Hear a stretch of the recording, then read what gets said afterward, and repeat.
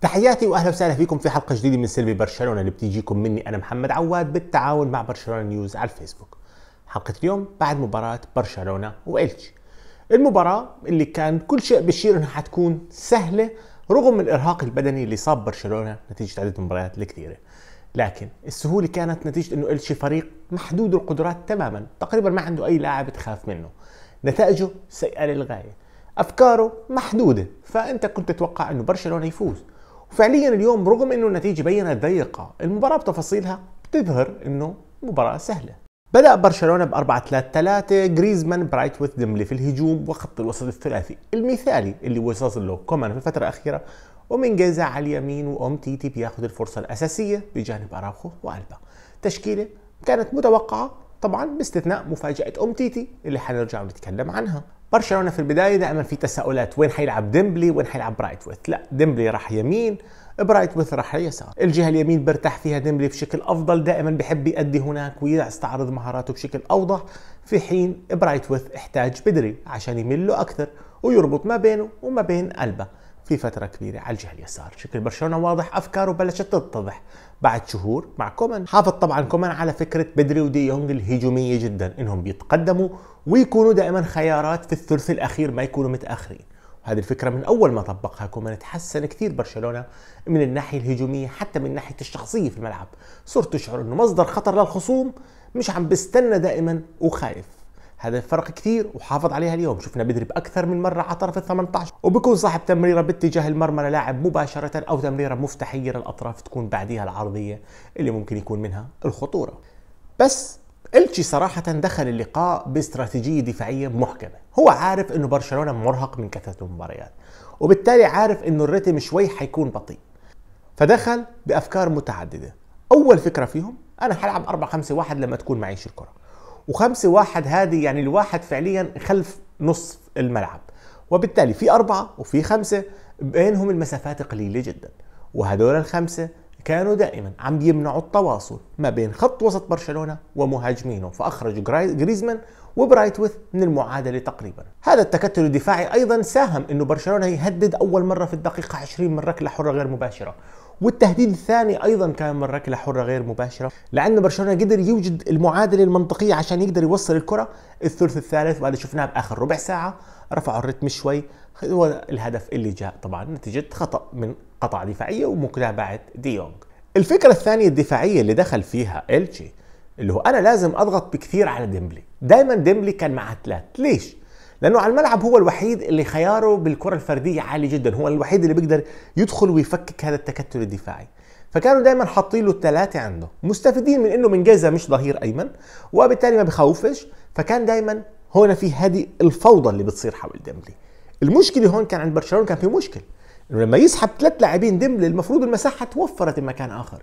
ما كان في فكرة أو نهج خليني أحكي يقدر يخلي برشلونة يستغل هذا السحب إنه يضرب المساحة اللي تتوفر. ما كان في فكرة واضحة من عند كومان. هذا الشيء لازم ينتبه له لأنه ديمبلي دائما لما يكون معاه الكرة دائما حيقدر يعمل هذه البلبلة ودائما حيقدر يسحب اللاعبين زي ما شفنا اليوم بمعظم اللقطات ثلاثة على ديمبلي. لكن هل في فكرة بعد ذلك؟ لا. أما الفكرة الثالثة واللي هي ساعدهم فيها الحكم إنهم كانوا يرتكبوا الأخطاء على أي كل لاعب بنجح في واحد لواحد ضدهم. في الثلث الأخير تحديدا. أي لاعب في الثلث الأخير بمر بيعرفوا إنه هيك غلط هيك حيخرب التنظيم تبعنا ما بصير حدا يمر. لازم نعمل فاول يعملوا فاول والحكم صبر كثير عليهم بالبطاقات وهذا الشيء ساعدهم يصمدوا صمود كبير. بس في شيء عمله برشلونة خلاه يفوز فعلا تحديدا في الشوط الأول. هذا الشيء إنه برشلونة عارف إنه هو اليوم بدنيا مش حيكون. ميسي غايب.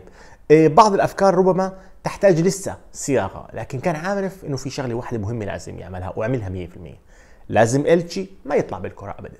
تم خنق إلتشي حرفيا.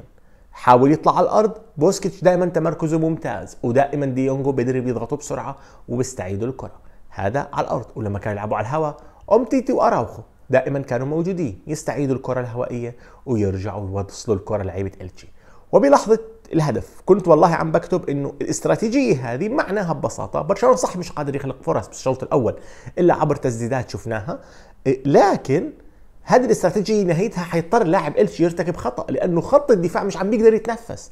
كل شوي الكرة عم ترجع له كل شوي الكرة عم ترجع له طبيعي يصير الخطأ. وسبحان الله جاء الخطأ وسجل دي يونغ الهدف. هذه قدرة افتكاك الكرة والضغط العالي المصحوبة بتمركز ممتاز للقضاء على أي فكرة مرتدة من بوسكيتش. صراحة هم المفتاح تاع الانتصار اليوم. مفتاح الانتصار اليوم مش الهدف الأول بس ولا الهدف الثاني اللي سجله ريكي بويج اللي أكيد سعيد له أنا لما يسجل لأني بحب هذا اللاعب.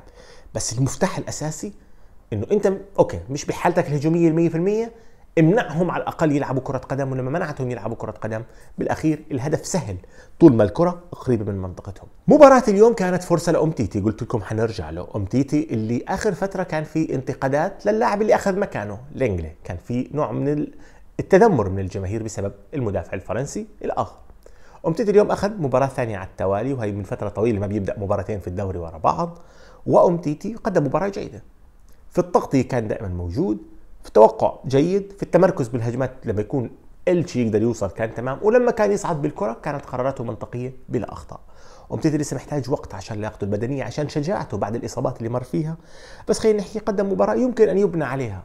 هل ممكن يرجع لمستوى القديم؟ ما بعرف. بس هو عم بيح يعني خلينا نحكي بدأت الآن خطوات يحتاج فقط أن يبقى يشعر إنه جزء من المنظومة وممكن يوصل للي كان أمتيتي يوما ما ما بتعرف. طبعا شفنا معظم فترات اللقاء برايتوث على اليسار وصحيح الهدف جاء من تمرير برايتوث والانقطع الغلط يعني الهدف الأول بتكلم بس لازم أوضح شغلة. بالمباريات الماضية كثير جربت هذه الفكرة وما كانت نتيجتها جيدة. ولو نجحت مرة مش معناها إنه خلص ثبتها لأنه صراحة وجود برايتوث على اليسار بخسر كثير الفريق من حيث السرعة على الجهة اليسرى. بخسر كثير الفريق من حيث حتى قيمته هو كرأس حربه تقليدي داخل الصندوق.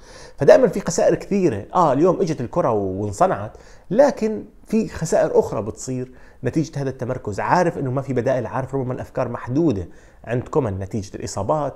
لكن لما يرجع فاتي يعني هذه الفكرة أكيد ما لها داعي. في كل مشهد من اللقاء كان برشلونة عم بيكون عنده فكرة هجومية مناسبة. شفنا في البداية أخذ الأمور بهدوء لعند ما قدر يضغط بعدين سدد حاول يسدد أكثر مرة. شفنا بوسكيتس ألبا بدري اللعيبة عم بيسددوا أكثر نتيجة التمركز الدفاعي الكبير لإلتشي. وفي الشوط الثاني أيضا شفنا الفريق عم بيحاول يرفع رتم. شفنا بعد ما نزل ترينكا وبعد ما نزل ريكي بوتش الأفكار عم تتغير كل شوي. في متعامل مع مجريات اللقاء حتى التبديلات كانت كذلك. هذه يعني هذا شغل جيد صراحة. عم بقوم فيه كومان بغض النظر إنه خسر السوبر ربما هذا بفسر الكلام اللي حكاه لابورتا إنه مدرب يحاول القيام بأفضل شيء ممكن يعمله ضمن اللاعبين اللي معاه. مباراة كانت مدارة بشكل صحيح بناء على الظروف بناء على أهمية الثلاث نقاط اليوم بغض النظر عن الخصم. صح برشلونة ما صنع فرص كثير ربما لآخر ربع ساعة لكن برشلونة قدر يفوز وقدر يدير اللقاء. برشلونة حافظ على تقارب لاعبيه. بدري دي يونغ دائما هم حلقات الوصل. ما بين خط وسطهم وخط هجومهم ما بين اليمين وما بين اليسار. لسه محتاج الفريق يسرع أكثر لما يتحول من اليمين لليسار أو من اليسار لليمين. لكن بشكل عام عم بيعمل يعني بدي أسميها بروجرس عم بيعمل تقدم معين في موضوع كرة القدم. لسه بده شغل؟ هذا أكيد وهذا اللي حشرحه في النقطة الأخيرة في الفيديو اليوم. لازم نفهم إنه لكل نادي في كرة القدم فترة مشروع بالقمة بعدين بينزل برشلونة فعليا طالت فترة القمة تاعته أو الأهمية تاعته بالصدارة وبالقرب نتيجة شيء واحد. إحنا عارفينه كلنا ليونيل ميسي. الآن مع قرب يعني تقدم العمر تاع ليونيل ميسي طبيعي تبلش الفترة تنزل هذا الطبيعي بكرة القدم. اللي مش طبيعي تتوقع إنها تكون ردة الفعل فورية يعني هذه الرسالة لجماهير برشلونة. لازم الآن نفهم كيف عم تشتغل مشاريع كرة القدم. بايرن ميونخ ما جاب ثلاثية السنة الماضية بيوم وليلة. قعد سنتين ثلاثة عم بظبط هون هون هون. بعدين قدر يصنع الفريق القوي. ليفربول نفس الشيء. كلوب مش بيوم وليلة سحر الفريق وصار أحسن إيه، فريق بأوروبا لمدة سنتين. مانشستر سيتي حتى نفسه لما راح جوارديولا عليه احتاج الموسم الثاني حتى يقدر يوصل للفريق. رغم إنه كان أصلا الفريق كويس. يعني كان لاعب نصف نهائي دوري ابطال وكان منافس على الدوري وكان كويس الفريق. اذا المسألة الآن بدك تشوف تقدم تدريجي من موسم لموسم. ما عادت فكرة تشتري 10 لاعبين لأنه ما في فلوس بالدنيا بتقدر تشتري 10 لاعبين سواء قبل كورونا أو بعد كورونا. فالمهم تقيس عدد الأشياء اللي بتحسن فيها الفريق، هل الفريق بتحسن دفاعيا، بتحسن هجوميا، هل الفريق بفلسفة اللعب بلش يتضح، شكله بلش يتضح، هذه الأمور اللي لازم تقاس، واحد اثنين ثلاثة لاعبين كم لاعب جديد عم بيطلع من الأكاديمية بيوفر عليك فلوس فبالتالي بتقدر تشتري جودة، تشوف كم معيار، بس إذا أنا بدي أحكي شعور الصريح مع كومن في شيء بذكرني فيه طبعا بيركرت التقدم البطيء أولها لكن ممكن تكون ناقص صفقة صفقتين ويتغير الأمور. في شيء بذكرني فيه بريكارد لكن طبعا زمان عملت فيديو قلت في شيء أيضا مخوفني عليه إنه يصير في زي لوبيتيجي من كثرة الفرص اللي كانت تضيع لكن ربما الآن بطلت تضيع نفس العدد من الفرص. مباراة كانت ممتازة على معطياتها على ظروفها باستثناء خطأ مينجويزا اللي وجد تير شتيجن ينقذ برشلونة فيه. نوصل هنا هذا الفيديو. اشتركوا الآن في قناة سيلفي سبورت على يوتيوب والسلام عليكم ورحمة الله.